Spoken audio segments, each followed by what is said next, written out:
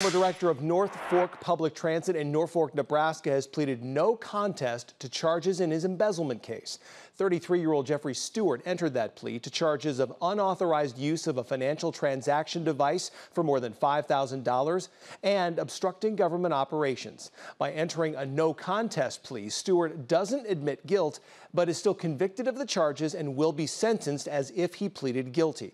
At his sentencing hearing in September, Stewart faces a maximum of 21 years in prison. Prosecutors claim he embezzled more than $740,000 from the system.